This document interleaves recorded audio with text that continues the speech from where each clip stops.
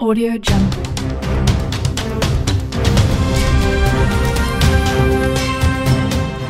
देश भर में गोरक्षा के नाम पर की जा रही मॉब लिंचिंग और फिर एक वर्ग विशेष समुदाय द्वारा किया जा रहा विरोध प्रदर्शन के चलते देश भर में अराजकता का माहौल बन गया है वहीं मध्य प्रदेश के इंदौर में सर्वधर्म के लोगों ने एक कार्यक्रम आयोजित कर मॉब लंचिंग के खिलाफ सख्त कार्रवाई करने की मांग की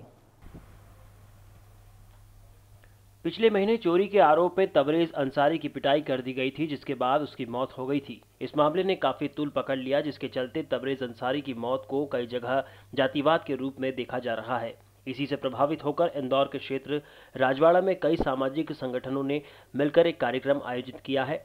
इस कार्यक्रम का मेन एजेंडा जातिवाद की आड़ में हो रही मॉब लिंचिंग को रोकना है। यहाँ हमारे बैठने का यही मकसद है कि जालिमों को ऐसी सजा दी जाए कि उसके बाद कोई जुल्म करने की हिम्मत न करे, किसी मजलूम को मारने की, किसी बेगुनाह को मारने की, कि उसको मारा भी जा रहा है और मारने के बाद वीडियो भी बनाई जा रही है। इसका मतलब कि देखिए कितनी उनके अंदर जीदारी है, उनके अंदर ना हुकूमत का डर है, ना कार्यक्रम 2000 से ज़्यादा लोग शामिल हुए, जहाँ सभी एक सुर पर देश में बढ़ती मॉब लिंचिंग की घटनाओं पर चिंता जताते हुए सरकार से ठोस कदम उठाने की मांग की।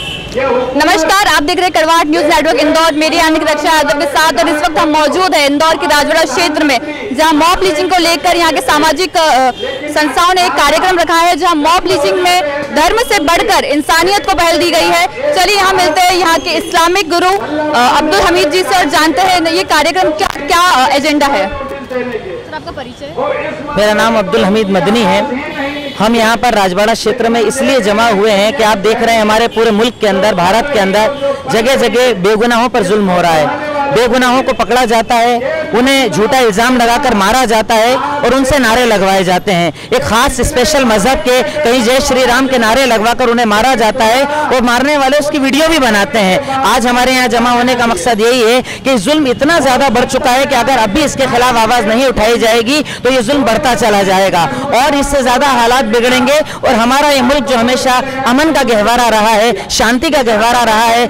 इसे बिगाड़ कर बिगाड़ दिया जाएगा, फसाद पैदा कर दिया जाएगा। क्योंकि आज हम देखते हैं कि एक आदमी, मैंने अपनी स्पीच के अंदर अभी यही बात कही कि आज हम देखते हैं कि एक आदमी जुल्म करता है, किसी बेगुनाह को मारता है और मारने के बाद अपनी खुद की वीडियो खुद शेयर करता है। फेसबुक पर डालता है अलग अलग सोशल मीडिया पर उसको वायरल करता है। यानी वो ये बताना चाहता है कि इस जुल्म में सारी दुनिया मेरे साथ है, कोई मेरे खिलाफ नहीं है, हुकूमत मेरे साथ है, पुलिस मेरे साथ है, मुझे किसी का डर नहीं। हम यहाँ पर इसलिए आए क्योंकि इस्लाम जो मज़हब है, वो कहता है, न किसी पर जुल्म करो और न जुल्म को बर्दाश्त करो। ये जुल्म है कि एक कौम के एक इंसान को, एक बेगुनाह को सिर्फ़ इसलिए मारा जाए कि एक मज़हब का मानने वाला है। हम इसके खिलाफ हैं। शांति के साथ हम यहाँ पर जमा हुए हैं कि हम अपनी बात हुकूमत तक पहुँचाएँ गवर्नमेंट तक पहुँचाएँ कि इन जालिमों को पकड़ो, इन जालिमों को ऐसी सजा दो कि सारी दुनिया को ये पता चले कि ये मुल्क हिंदुस्तान, ये मुल्क भारत कभी भी जुल्म को बर्दाश्त नहीं करता है, बेगुनाहों को मारने को बर्दाश्त नहीं करता है। इनके ऊपर कड़ी कार्रवाई की जाए, इसी के लिए हम सब यहाँ पर जमा हुए हैं।